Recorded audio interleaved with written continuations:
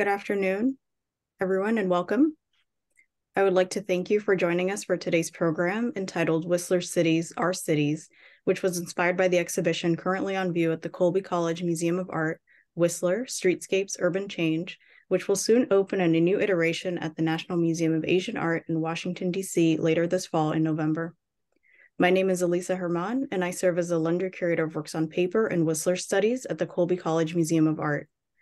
Before beginning today's program, I would like to acknowledge that our speakers in Maine are situated in the homeland of the Wabanaki people, and our speakers in Washington, D.C. are situated in the traditional territory of the Nacotchtank and Piscataway communities. We express our respect to the indigenous communities who have lived on these ancestral lands for almost 15,000 years and their future generations.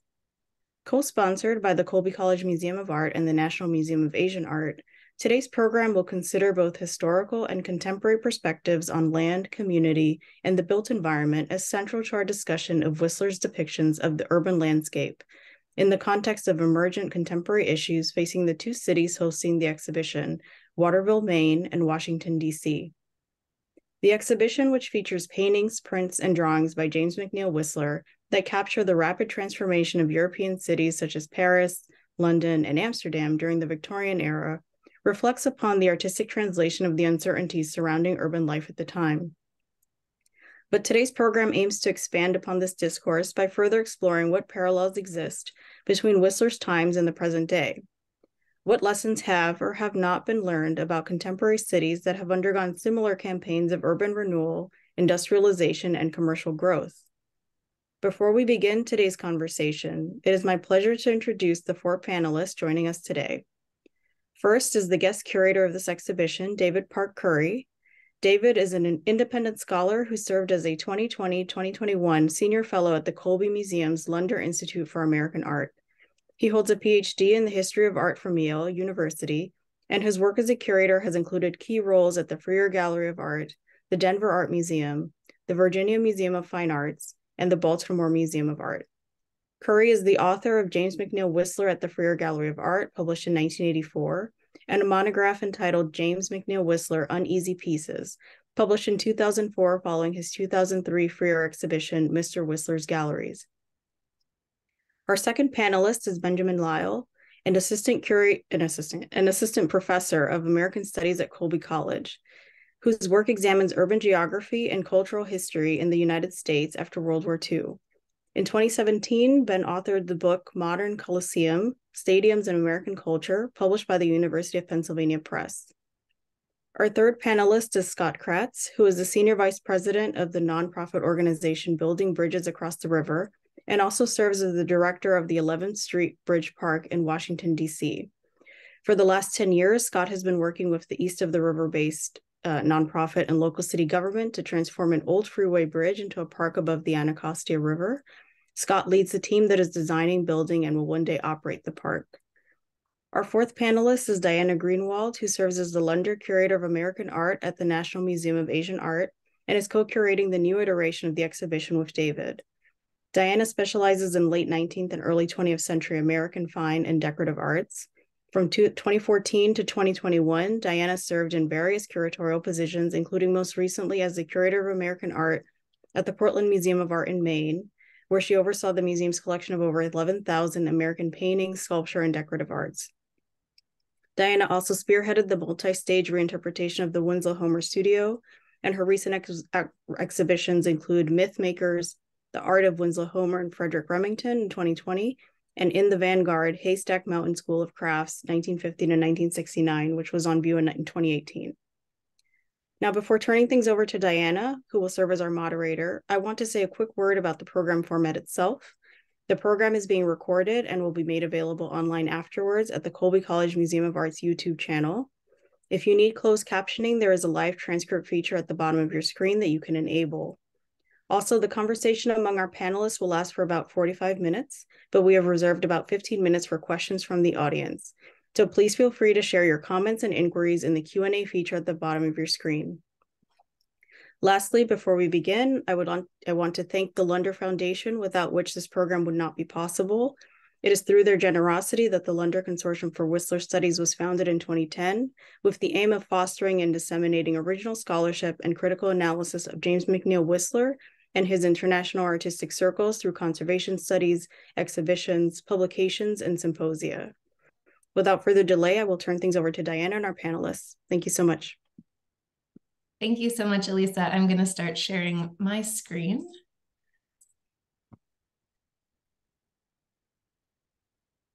And take a moment as well to echo my sincere thanks to the Lunders for their very generous support of this project and so many others related to James McNeill Whistler across our field.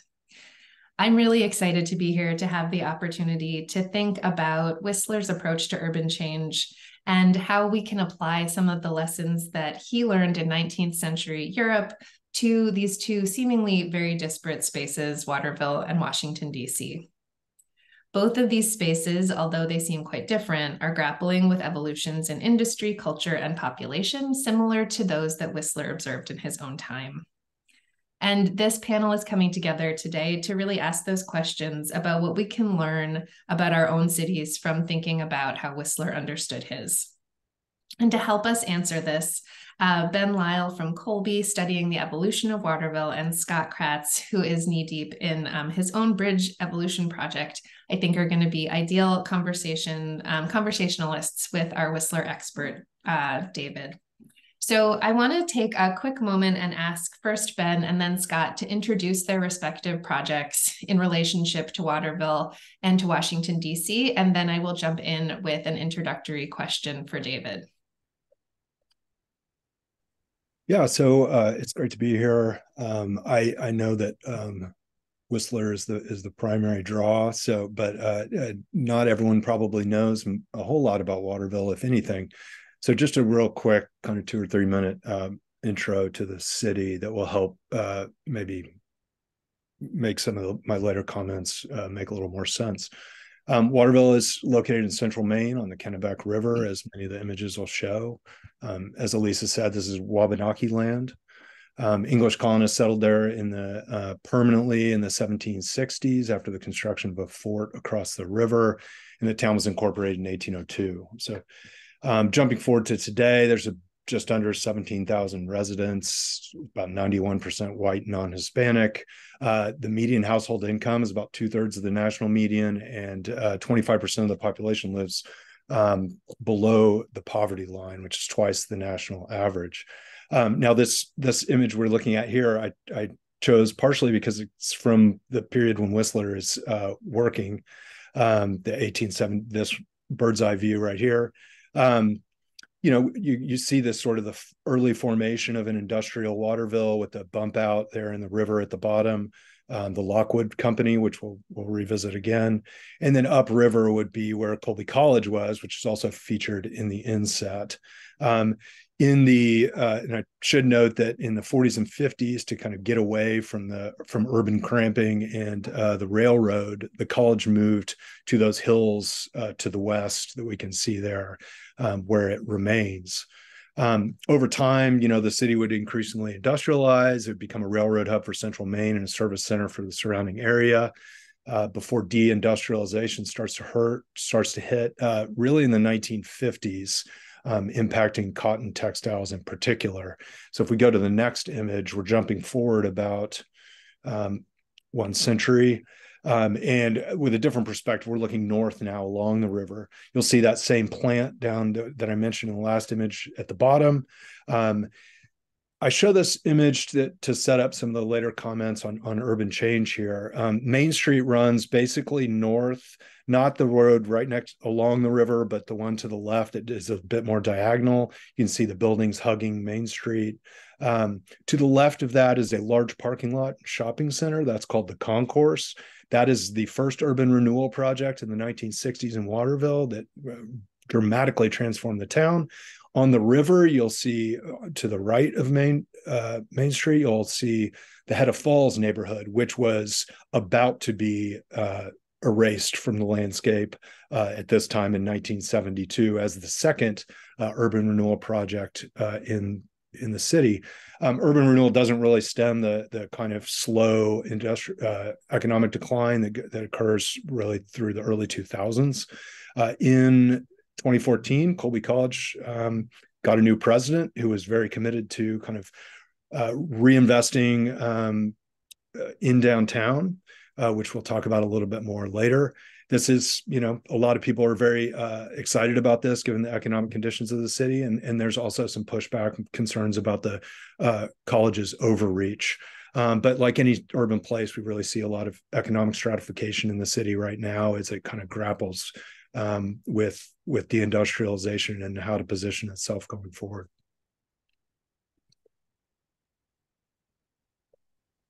and good i'll invite scott yeah yeah, good afternoon, everybody. Thank you, Diana, for this invitation. Um, so my name is Scott Kratz. I'm uh, for the last 12 years, it's been my honor to lead um, the this new civic space in Washington, D.C., the 11th Street Bridge Park.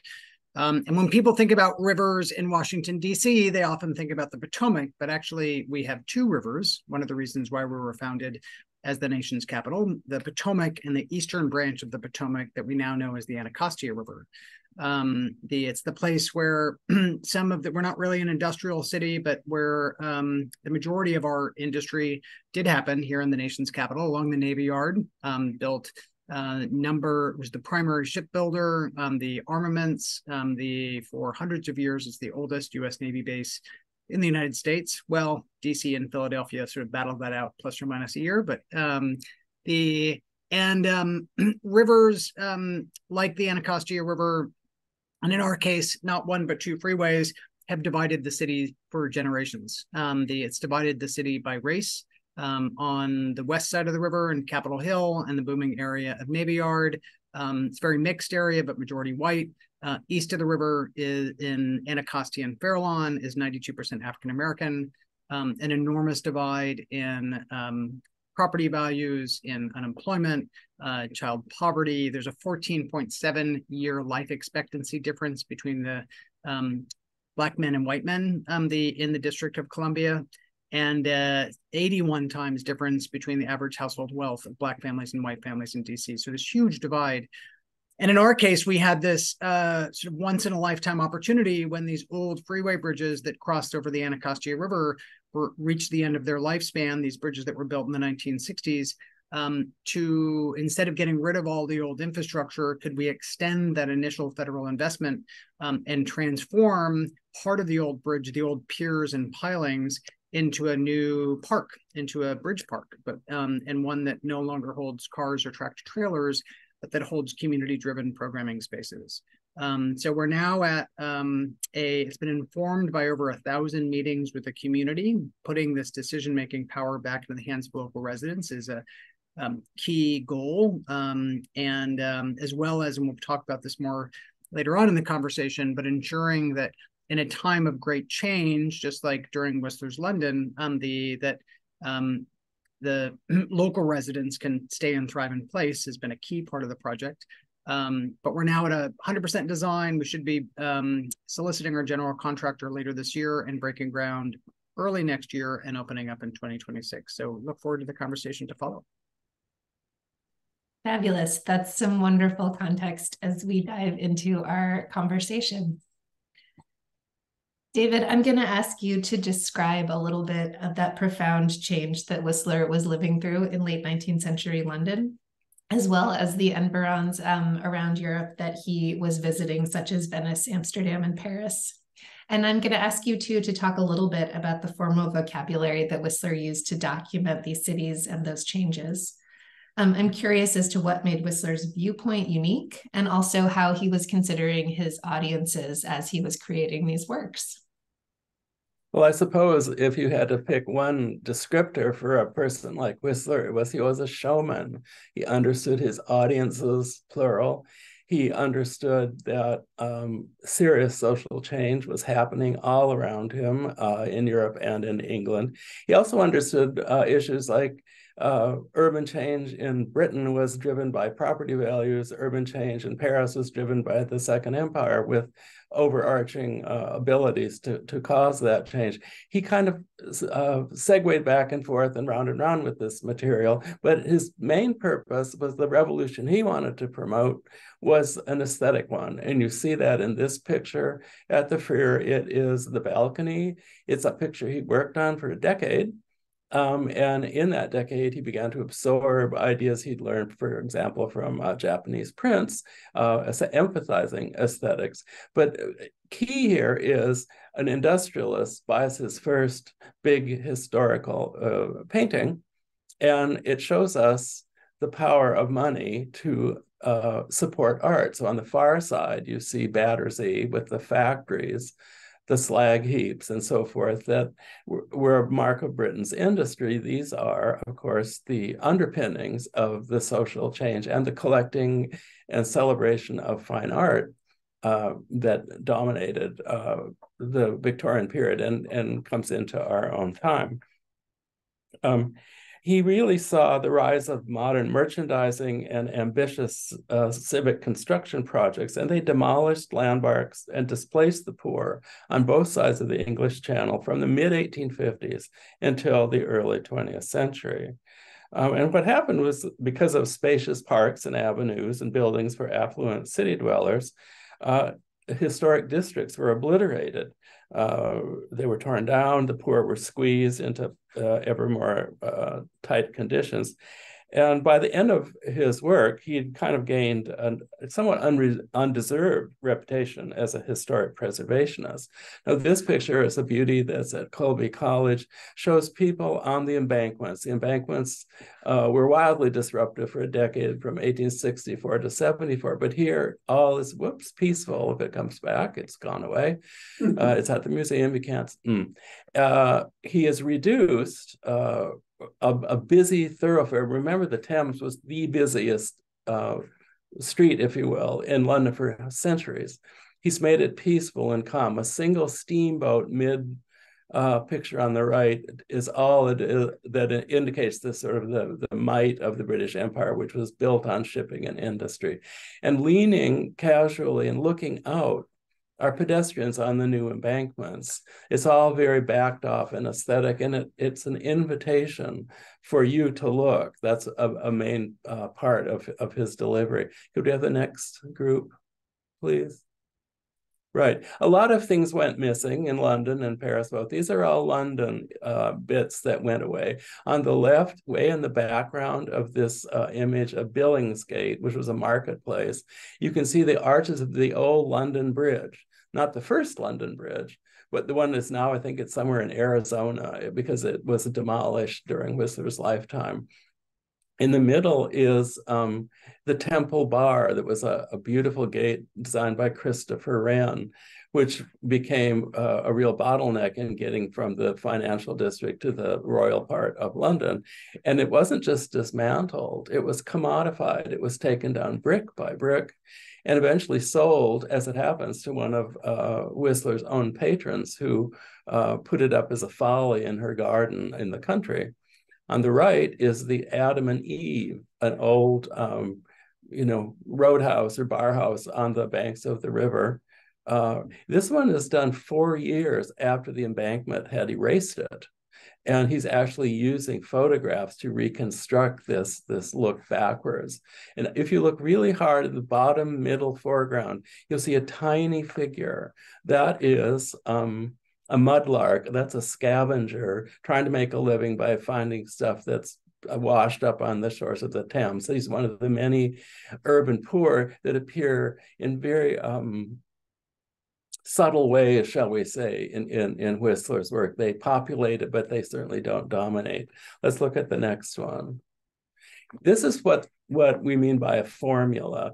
Whistler was a really skilled watercolorist, a painter, an etcher, a lithographer, a pastelist. And, and what happens with, with the uh, shop fronts and streetscapes is he's busy with this for over half a century uh, in all those different places, as mentioned. So what happens is a formula that ties them together. He he does things like he crops the sides and the top.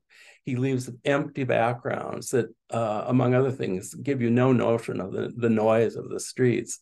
Uh, he uses color to make it rhythmic and um, elegant. On the far right is which one is that? Oh, the fish shop. Yeah, that he's he's looking at a shop near where he lived, and in the middle you can see a fishmonger slab. But in showing a picture like that, he doesn't tell you anything about the importance of fish as food for the poor, for example. The, the middle picture is related to um, a dime novel that came out at, uh, at about the same time. And if I can find it, I will read you what it said, uh, what, what that novelist had to say.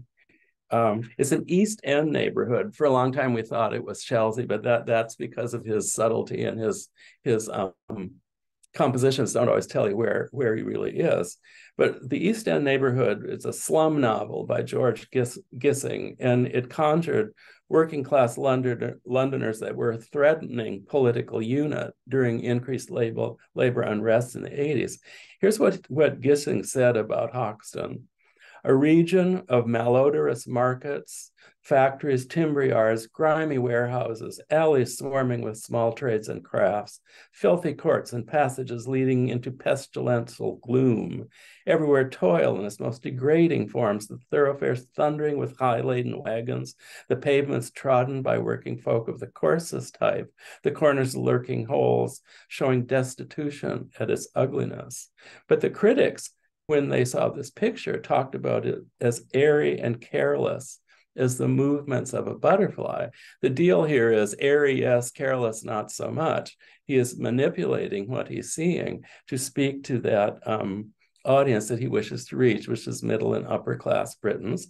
And he kind of extends uh, Oscar Wilde's notion that lying and poetry are arts. He does it with painting. But do I have another? Or have I gotten through all mine? Uh, oh yes, here's One here's more. here's um some pictures of the urban poor. Can you see the little tiny figure in the middle uh, on the left, the little court? That is a street sweeper. Whistler swept the um, entire foreground of this picture clean, so he's pushed it back. It's a distance, but that is a familiar um, figure in the cries of London. These were the the young people that tried to make a living by sweeping up all the horse droppings that got in the way of the quality when they were crossing the streets. That you have to look for something like that in his work. On the right is a rag shop. He loved rag and bone shops. Um, you will see those in uh, photographic histories of uh, people like Thomson with four page uh, uh, four page articles describing what's going on. All Whistler does is writes a little word rag on one of the windows. I don't know if you can make it out. The point is that he knew that his audience was aware of these things because they were in the popular press, they were in books, they were in uh, reform societies of various kinds. And uh, so what he did was he took advantage of the knowledge of his patrons to fuel um, the background of the images that he made. Let's see. Do I have any more of these things? Sorry. Uh, thank you so much, David. Um, ben, I'm going to turn to you and just ask whether what you're seeing in how Whistler depicts these questions around um, urban change and urban poor in London um, have some resonance with the past and present of New England hill, uh, mill towns like Waterville. Yeah, thanks. I mean, there's a lot to to dig into there. Um, and certainly, like cities are constantly this side of, you know, tension between the old and new, or the traditional and the modern. Um, and and I would actually, in in as I was reviewing the kind of exhibition catalog and some of David's points, he he just mentioned the second French Second Empire and how Whistler arrived in, in Paris a couple years after Baron Haussmann's massive modernization project was started there, where he plowed these grand boulevards through um, old uh, working class neighborhoods. Um, I, I, my mind jumped forward a little bit to that urban renewal period I referenced in, in my intro, um, and that is depicted here in the 1960s or, or right before it. Um, you know, this this was the federal slum clearance program. Um, and under this, uh, roughly one third of downtown was basically razed, most of it uh, because it was working class, poor working class housing. Um, on the left here, we have an image from the city newspaper, the Morning Sentinel, uh, depicting uh, the area that's targeted for slum clearance. On the right, we have an aerial photo of basically the area that does get raised, that gets turned into the the concourse, as I as I that we saw earlier, uh, basically a big parking lot and strip mall. Um, you know this um, this photo was part of a series uh, this in which the Sentinel was kind of introducing urban renewal to voters. Um, they hadn't approved it yet. Um, and you know, like most newspapers, the Sentinel was largely pro development, pro renewal, pro growth. It helps their bottom line to have more money to advertisers and subscribers, of course. Um, but this this piece in particular, this image in the article it came with, um, struck me as a little bit different. It's not quite as openly kind of boosterish because uh, it can't be, um, and it's it's kind of capturing the experiences of some of the the future displaced. Um, you know, I look at this image and and I see some resonances with some of those that we just saw. This sort of kind of ragged landscape. Um, it feels a little more cramped, perhaps, than some of the ones that, that Whistler were doing. Um, but you know, the roof lines uneven, the stoops, um, the street itself. Uh, it feels cramped in a, in a kind of a publicly intimate way that I think uh, contrasts with post World War II norms uh, around suburban domestic life and modern architecture and planning, as that the the other batch of images um, mm. suggest. I, in general, I think what ultimately is happening. I mean, David David used the phrase "in an invitation to look," um, I, which resonated with me. Uh, this seems like an invitation to look, but he also mentioned the ways that these images are cast for not for the people or not for the people being depicted, but for uh, up class, you know, pe- people of of more means. Mm-hmm. And you know, I think this image in, on the left, in many ways, pathologizes poverty and the, the kind of urban condition.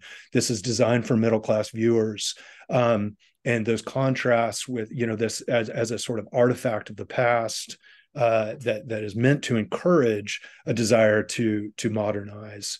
Um, but there's also a sort of uh, it's impossible to kind of enact these changes i think without also triggering sadness and nostalgia for particularly for very small communities like this.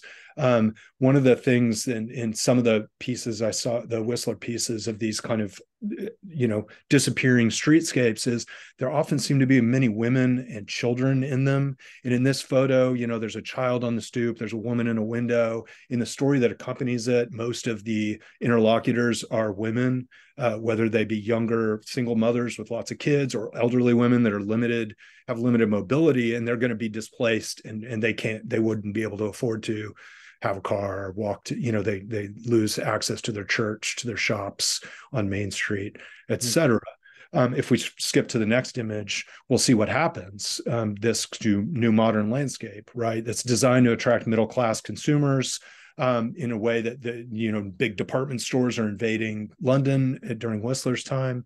Um, but also crucially we've removed signs of poverty and most primarily poor people themselves um, ironically, this is kind of forecasting a little bit. This this the current development in downtown Waterville in a lot of ways is just trying to undo a lot of the kind of violence of urban renewal, which has happened in a lot of cities, right? Trying to reconstruct a sort of earlier version of the city that is walkable scale, where there's public life on the streets, um, and it's somewhat idiosyncratic. Though, how do you design idiosyncrasy, right? Um, but I, will get to that in a little bit later. Uh, thank you. This is fabulous. Um, Scott, I'm going to pose a similar question to you with your work in Southeast Washington. Uh, and ask if how how the district is facing questions a century later that Whistler can help us connect with and seek answers to. Yeah, I um I mean cities are are never wrapped in amber. They always go through change. They always go through uh, I'm just I'm really struck by um, Ben's comment of the sort of violence of urban renewal, which um certainly was the case sort of here in DC. Um the when we have these urban renewal projects, often we ask two questions sort of who is this for and who's going to benefit right? And oftentimes, um, if not exclusively, it's people of color and those with low economic means are the ones that um, it's not for them, and they certainly don't benefit. In the 1950s, we had a significant urban renewal um, here in Washington D.C. Um, that pushed out a little over 11,000 uh, African American um, families from Southwest push them in across the river, across the Anacostia River into Southeast DC. Um, I will note that the Smithsonian's Anacostia Community Museum has a really wonderful um, the online um, piece that captures some of those stories called Beyond the Bulldozers. That's fabulous. Um, if you're in DC, it's all geocoded. Um, the it's it's really amazing. Um, but we're fast forward to today, or at least the last like 10, 12, 15 years, uh, Washington, D.C., after hemorrhaging population for generations, um, went in a strikingly different direction, where we've gained over 100,000 residents in the last 12, 13, 14 years, um, which is significant. We've gone from 650,000 residents to a little more than 750,000 residents. Um, and we've seen neighborhoods that normally change in a generation or two change seemingly overnight. Um, many of those 100,000 residents um, the have come down to uh, the um, near the Washington Navy Yard, which you see on sort of um, picture to your right. Um, it's a booming development now. There's still U.S. Navy still has a presence there, but it's the fastest growing area in Washington D.C. And you feel like that sort of presence is just sort of perched on the river, um, the and just about to sort of jump over the river um, we've had not only the displacement um, the from that urban renewal, but we've also had a legacy similarly um, sounds like up in Maine um, of uh, freeways um, the and other infrastructure that, that have blasted through communities of color. In our case, um, the the 295 freeway uh, on the east side of the river blasted through a historic neighborhood, the one of the first African American neighborhoods in Washington D.C., known as Barry Farms um, the that displaced um, the hundreds and hundreds of, of African American families. So I think one of the sort of key questions for the Bridge Park is, you know, when when we're looking in the next five years, east of the river is about to see over a billion dollars of economic development coming in. That's a billion dollars of economic development that's coming east of the river in the next five years. How do you invest in a traditionally underinvested uh, neighborhood without displacing the same residents we're trying to serve? Um, and that's become a key part of the Bridge Park's um, effort, um, the of investing not only in the bricks and mortar of this park, but investing um, uh, to make sure that the thousands, tens of thousands of residents who've helped shape this park from the beginning can be the ones that benefit from it. Uh, fabulous. I'm um, I'm going to turn us actually to that that river itself that we see so um, so central to this image that Scott has up and ask David to talk a little bit about the role of, of bridges and this embankment project that you mentioned, David, in 19th century London. Um, these are major evolutions um, and they've profoundly disrupt the nature of, um, of urban life in London. Um, mm-hmm. so I'd love you to talk a little bit about how these construction projects wrought that change. Um, and again, what Whistler is being selective about when he's visualizing these bridges the change undergoing that they're undergoing, um, as well as those embankment projects. Okay. It came as quite a surprise to us in, in our researches for this project that 15 bridges were built across the Thames during Whistler's tenure in England and France from the 1850s to his death. Um, previously, London Bridge at one end and a bridge, you know, way up at Hampton Court have been all there is.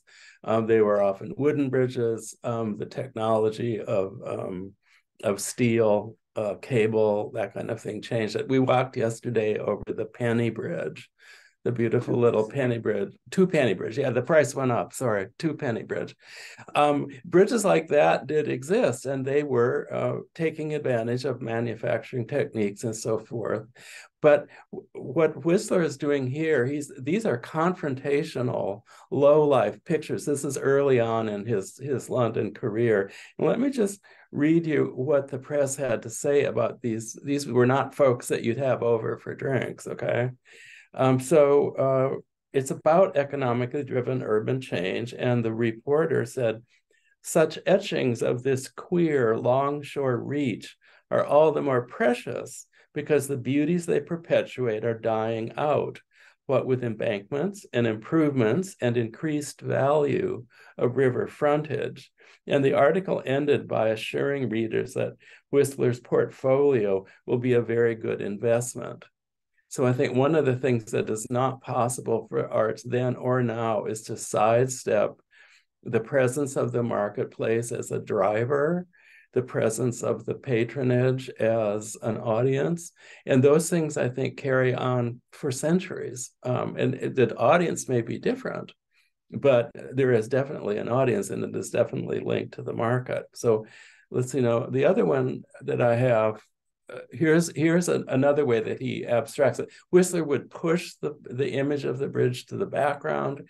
He would distance it with a lot of water. He would, in this case, he's made it into a Japanese image, almost this beautiful pastel.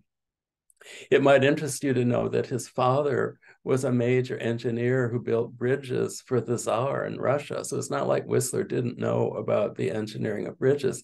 It had more to do with his um, distancing for the purpose of making art, not a report about bridges. So something like this, which is heavily indebted to uh, to Asian art, uh, is is a very good example.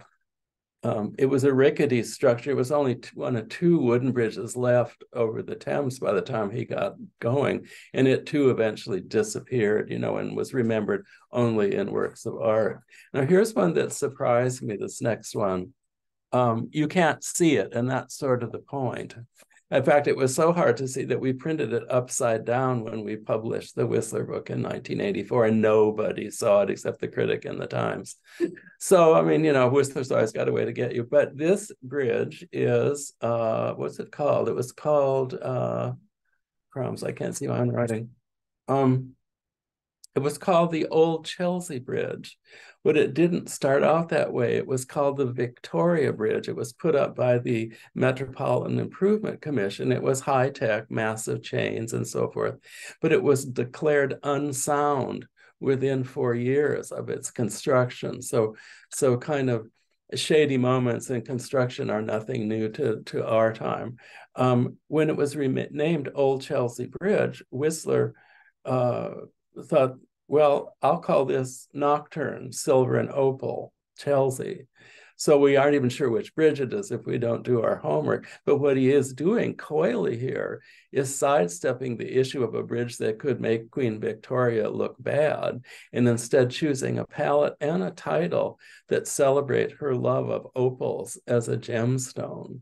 And that is the kind of thing that tells us how he is operating within the context of massive and really fairly scary, scary uh, urban chains to basically create images of great beauty that outlast the details of the urban change specifically, but I think talk to us very strongly over the time about the links between art and, and change.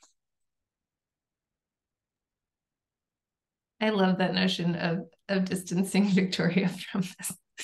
Well, yeah, she was she was quite a, a, piece of work herself, you know. But they they did very much um, were enthusiastic in in the middle and upper upper class circles about the power of their economy, and it's and of course it was in great competition with um, with uh, other European powers, and so so uh, the honorifics of of having a bridge named after you'd have to be careful about that if the darn thing fell down.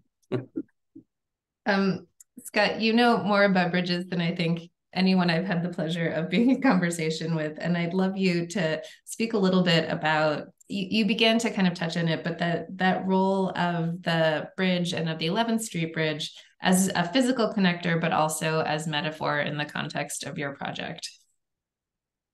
Yeah, I've turned into uh, quite the bridge geek. Uh, I drag whenever I'm on vacation. I drag my poor wife to bridges um, all over the country, uh, internationally. Um, the um, and in our case, in Washington D.C., um, you know, we have this river and these two freeways that have long divided um, the really split um, the nation's capital, and so um, and for a long time we've had rather uh, relatively unattractive. I don't think anybody would argue with this. Um, bridges that connected both sides, but but um, the but not many. Um, the there's there was the South Capitol Bridge, the 11th Street Bridge, um, the the Pennsylvania Avenue Bridge. All the really pretty bridges are um, not surprise. Um, the that uh, are west of the river. Um, uh, the or in the western edge of DC, like the Memorial Bridge. Um, the that can that reconnected the country. Um, the after the Civil War. Um, the to the Duke Ellington Bridge over Rock Creek. Um, the beautiful Arch Bridge.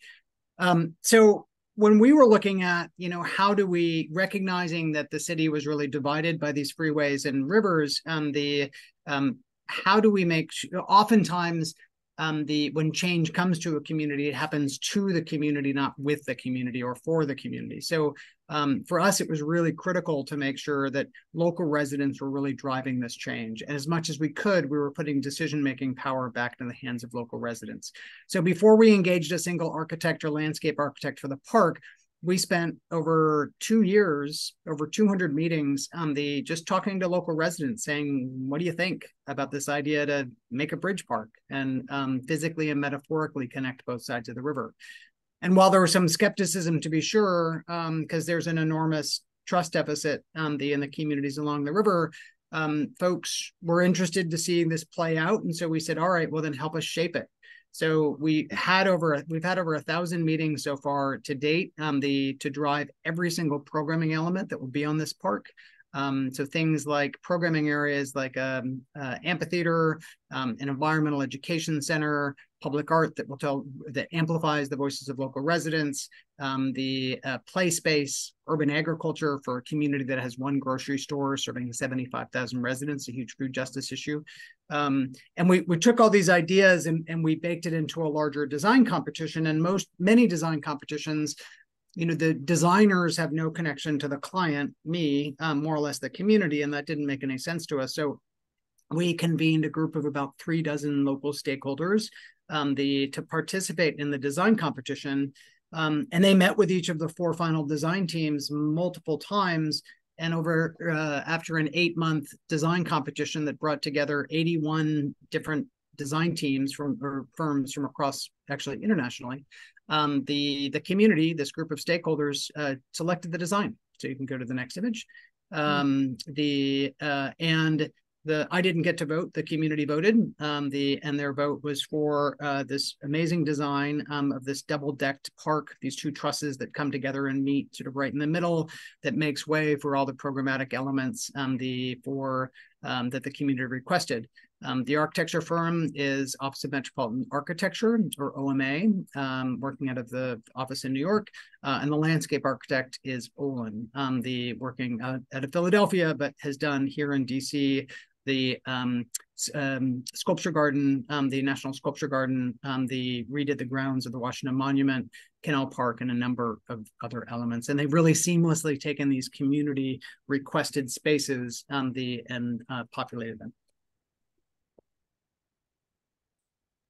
Thank you. Um, Ben Waterville, of course, has water in its name. So I'd love to hear a little bit about how that city relied on that waterway originally and also how it's attempting to renegotiate its relationship to it in a context where it's not necessarily uh, expressly tied to industry. Yeah. Um, well, I'll, I'll, keep this short and I, uh, hopefully the images um, speak to some of those major changes, right? Um, of course, the the river meant power, um, and that powered these uh, often textile mills. Uh, the two images on the left, um, we we see those bridges. Um, this is looking north along the river, and the, a paper plant on the up at the top of the image on the Winslow side, which mm-hmm. is the mm-hmm. town across the river, uh, and then the west bank uh, looking north with the Head of Falls neighborhood and a, and a uh, woolen uh, textile mill um, you know, over time, again, these these decline the the mills gradually shut down relocated. Um, and you know, this this is in keeping with uh, post-industrial development in, in most cities, right? Um, industry was located in really prime areas in the center city, uh, and when it relocated, it vacated all this excellent real estate. Um, and um, you know we see some of the kind of result over on the right now the the the second image is uh, looking downriver so so south Um, but that green stretch right there, it's head of Falls, uh, where the factory used to be, uh, was redeveloped as I mean, basically it was a snow dump and a and a unpaid parking lot for for decades before it was redeveloped in 2018 uh, as Riverwalk.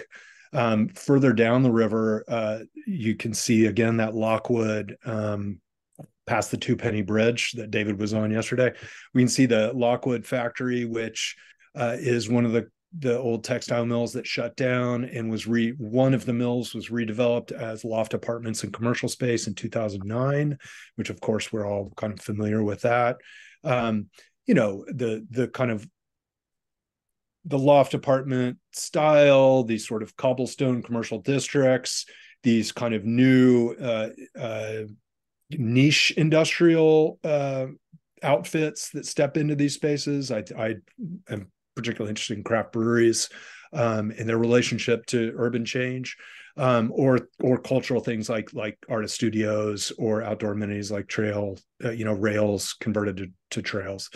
Um, and, and this also culturally comes at a time when a sort of industrial authenticity becomes more more valued um, socially, right? And I think we're still very much in that moment. Um, in Waterville, I'd say that these developments lag a little bit than places like DC, probably, um, right? Um, due to its location and size um, but it's been getting more attention recently, and certainly the college's investments there.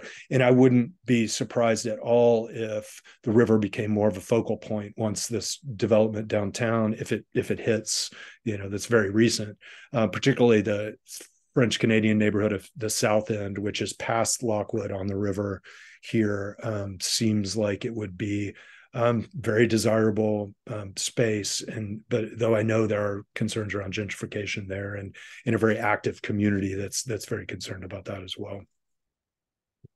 Uh, thank you. I'm I'm excited to learn more about the role of breweries. um, David, and in the last, I, I want to pose one quick last question to our panelists and encourage our audiences to share questions that you have for the panelists in our Q and A. Um, and David, you've you've coined the term art washing to describe the work that Whistler is doing um, and his ability to gloss over those harsher realities in order to create these just aesthetically gorgeous images for us.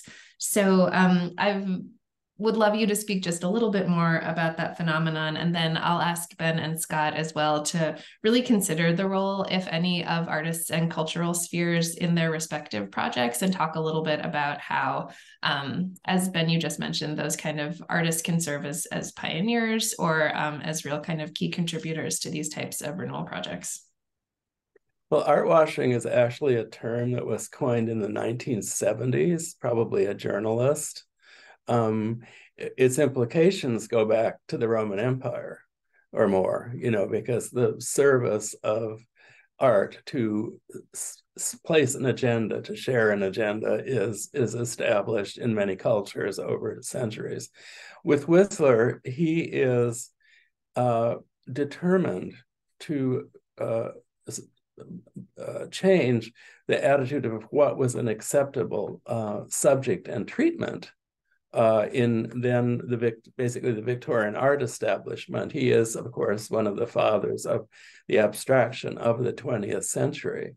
And in doing this, he chose these uh, urban topics, the streetscapes and the shops and the rivers and so forth, to advance that aesthetic agenda. This one, again, is one of the more Japanese ones. We're on the embankment during, embankment during its construction uh, this is 1872. This painting, the embankment was finished, I think, two years later. But what he's done in the middle of the of the uh, image is there's that kind of dark gray mass. It's a zigzag shape. He's reduced the kind of hoardings or screenings that you would see in great and grisly detail in the London Illustrated News at these building sites. He's turned that into an elegant Japanese screen behind it, closest to us, in again, fairly empty foreground. Uh, elegant figures are are walking along, and then in the background, of course, the river, the the power house of, of the uh, British economy is, is uh, shown. Let's do the next one too, because I know we don't have much time. This uh, the pass out. This here, now we're in Venice. Uh, this happens just before the streetscapes in London and Paris take off with a vengeance.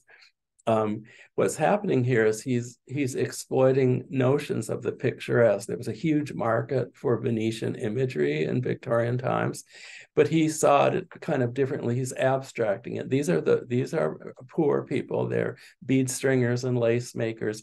He's pushed them back. He's ge- ge- geomet- How do I say? He's made the um, whole treatment ge- geometric. That's what I'm trying to say. Beautiful bits of color and so forth. But they are the urban poor turned into works of art. And let's look at the last one. Um, one of his most beautiful late watercolors. What you see is a shop window. You see works of art in that window. He is acknowledging that he understands works of art like fruits and vegetables to be commodities for sale. And the eager little children are clustered and looking at that, except for one little kid on the left and she is looking, I don't know if you can make it out on your screens, but that's a sign for stewed eels, which was one of the foods of the poor. He's got the little children are in the streets because they didn't have anywhere else to go. But but this kind of beauty um, distances or anesthetizes the threat of a hungry urban poor for um, the uh, art audience that's seeing it. So in all of these um, images, what he does is he advances and, and works with an approach to imagery that we will see over and over in uh, the art of the 20th century. Think of the Ashcan School in New York, for example. But it also tells us uh, in an era where there's an awful lot of emphasis on contemporary art making, that it's not a bad idea to look at some of these old so-called masters to think about some of the same issues that resonate over time.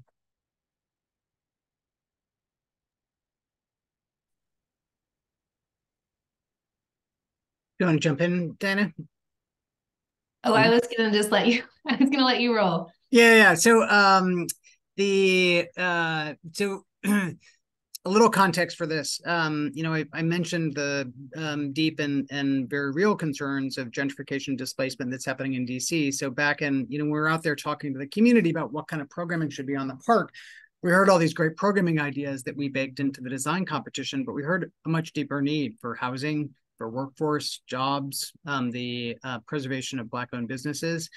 So back we in 2015, we realized this was a real, real opportunity to not only build the bridge but also invest in nearby neighborhoods to make sure that we can try and get ahead of issues of displacement and gentrification. So we spent a year um, building out strategies in uh, affordable housing, um, the workforce training, preservation of local businesses, supporting entrepreneurs, um, and we launched our first, what we called our equitable development plan in 2016, uh, late 2015, excuse me.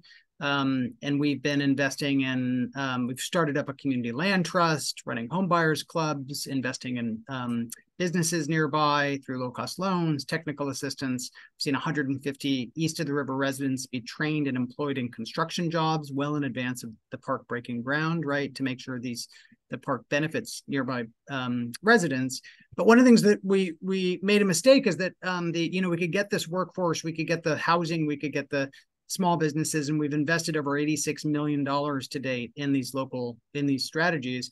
But if we lose what makes the neighborhood the neighborhood right um the if we lose the sort of arts and culture um the that are there that has enormous downstream consequences so we spent a year working with arts and culture leaders and, and created a whole series of arts and culture strategies. And one of those was making sure that the park itself um, the um, had community driven art that you know often um, there's talk of place making but um, the role of artists and cultural leaders is about place keeping right how do we make sure that in a very real and authentic way um, the that local residents are telling the rich histories and, and stories of the neighborhood and, and amplifying those local voices so last year we spent a year on the uh, creating a, a local stakeholder-driven curatorial committee. We did a big call for public art for the park, um, and these are some of the artworks um, the, that have been selected. Um, the uh, big murals, um, sculptural installations, um, the uh, a hammock grove um, that'll be part of the park. That's going to be really spectacular.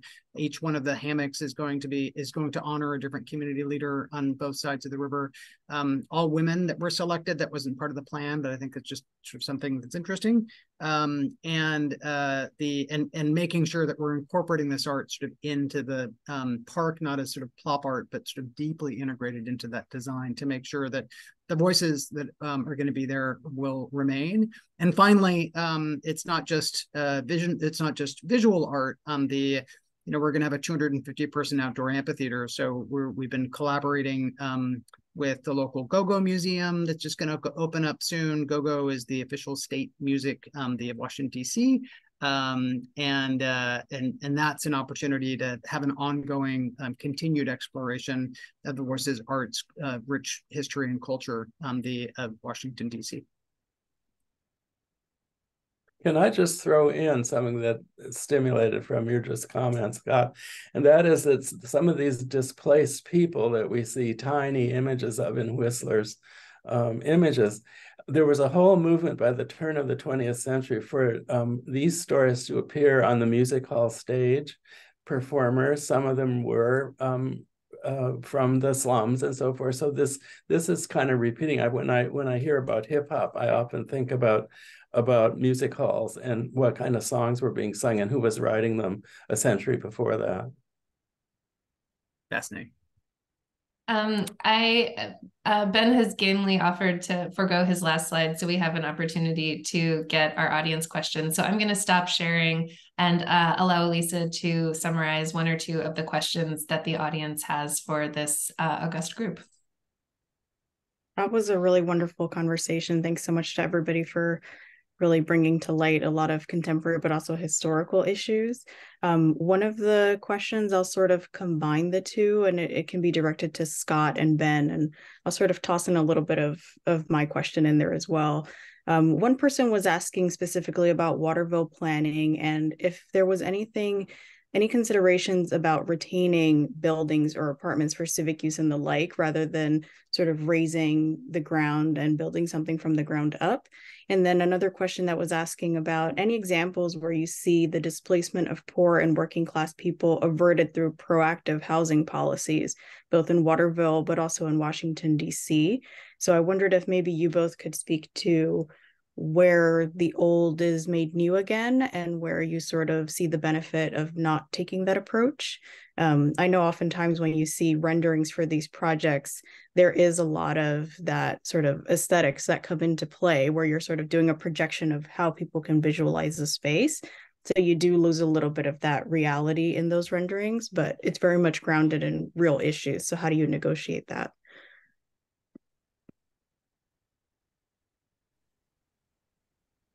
Uh, I I can I can speak to uh, well certainly uh, in Waterville the the um, you know when when this urban renewal is going on i mean a lot of this is very old housing so it's it's um, probably not necessarily salvageable. Um, the college the old college location they just knocked down and that would have been even earlier than urban renewal.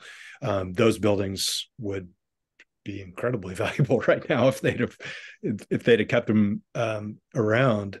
Um, and you know, I think we see some of that in the um, the redevelopment of these uh, old factory spaces, uh, the Lockwood in particular.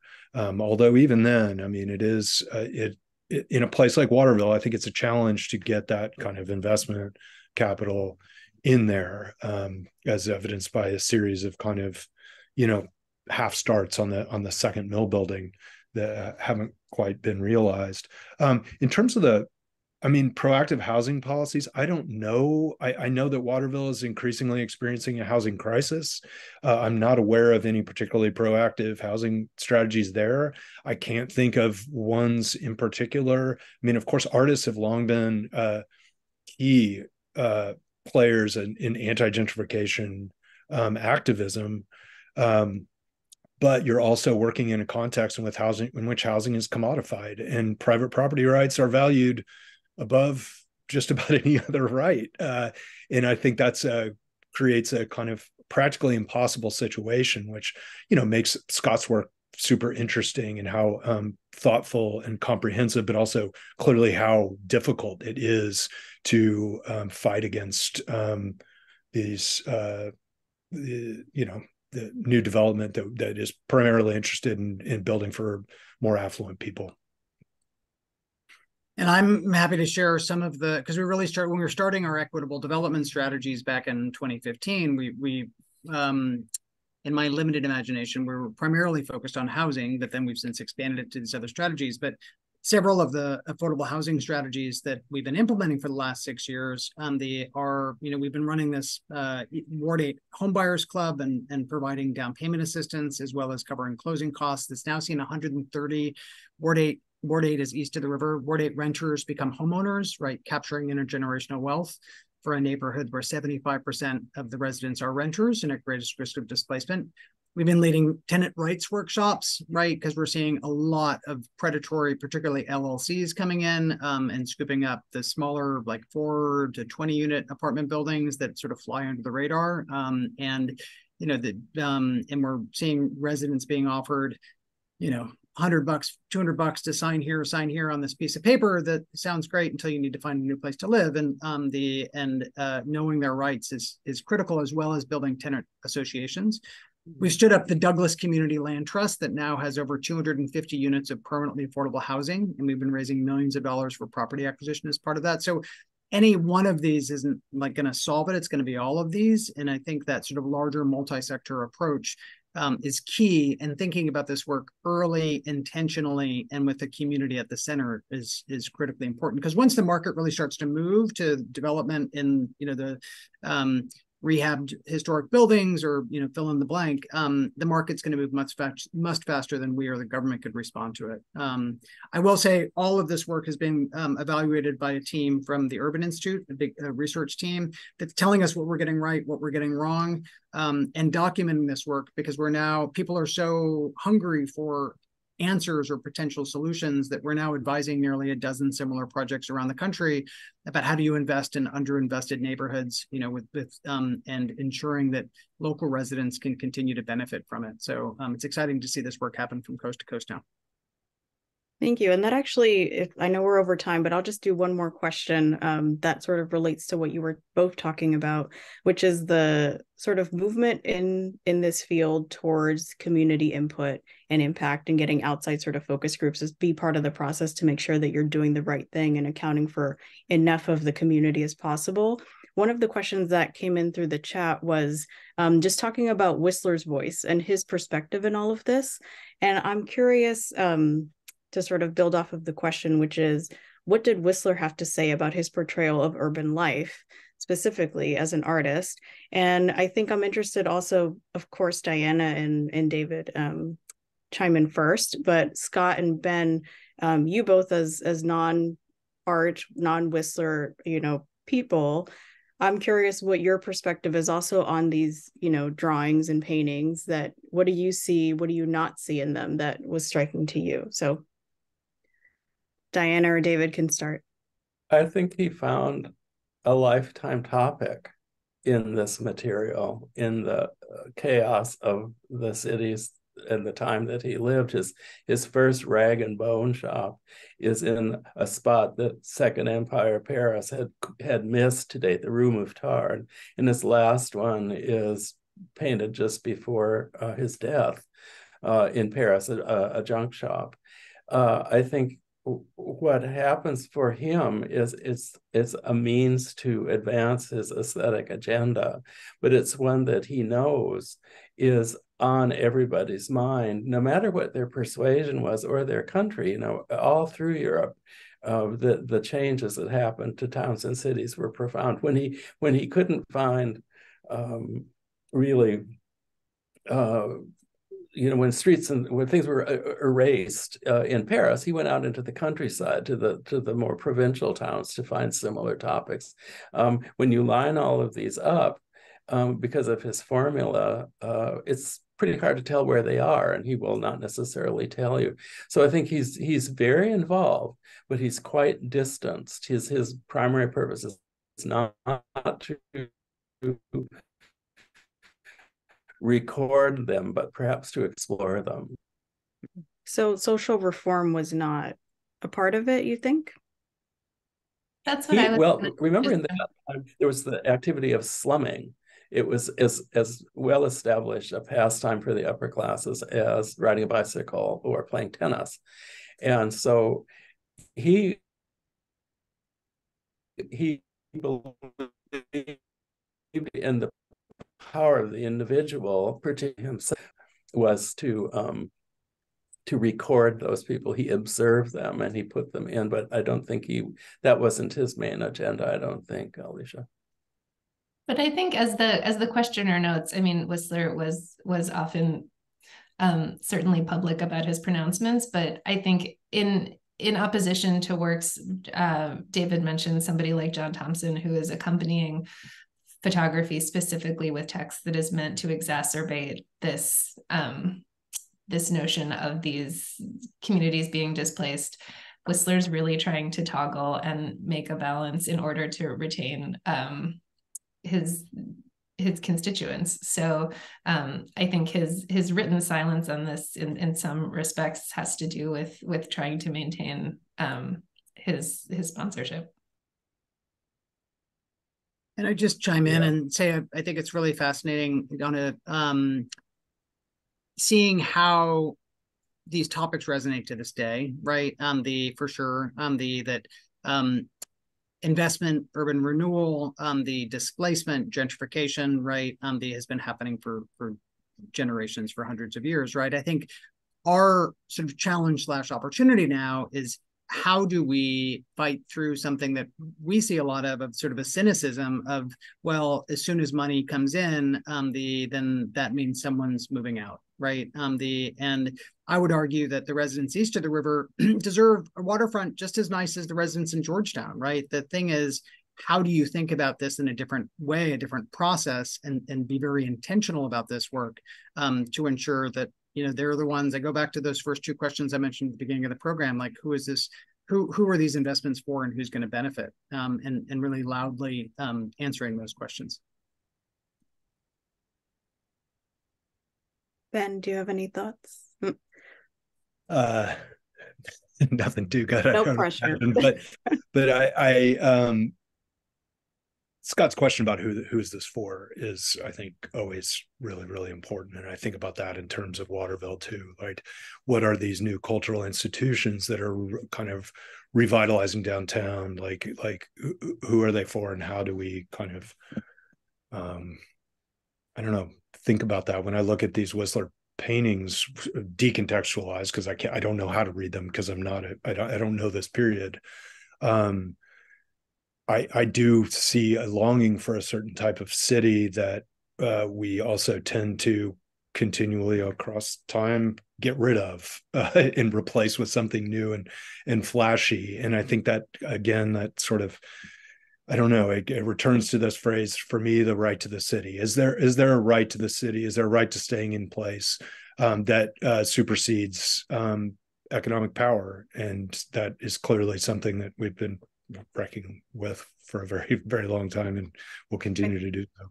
I really love that you sort of we can end with that note because you uh, to me what's always interesting is the way that Whistler has the right to move through the city and the parts of the city that he wishes to and then he can kind of retreat and do something else so it's it's also that's that artistic privilege that he enjoys which not everyone in the community has is something that's kind of like a subtext um, sort of within all of these images that are beautiful but complicated. So i love how all of that has kind of